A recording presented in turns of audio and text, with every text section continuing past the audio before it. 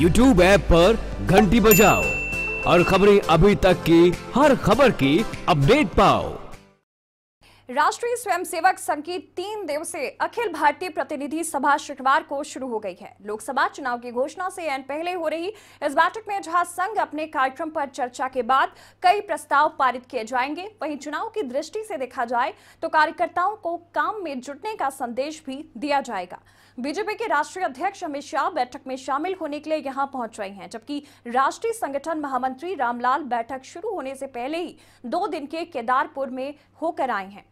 के कार्यों के संबंध में निर्णय लेने वाली सर्वोच्च संस्था अखिल भारतीय प्रतिनिधि सभा में जो तय एजेंडा है, उसमें सीधे तौर पर कोई राजनीतिक प्रस्ताव रखे जाने की जानकारी नहीं है।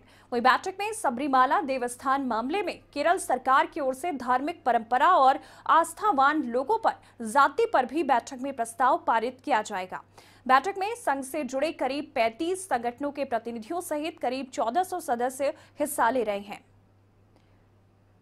ग्वालियर में धार्मिक परंपराओं पर मंथन भी किया जाएगा। साथ ही आपको बता दें, इस दौरान सबरीमाला मंदिर मामले पर भी चर्चा की जानी है। संघ की तीन दिवसीय बैठक में इस दौरान धार्मिक परंपराओं पर मंथन भी किया जाएगा, जो कि तीन दिन तक चलेगा। साथ ही इस मौके पर सबरीमाला मंदिर मुद्दे पर भी चर्चा की जाएगी।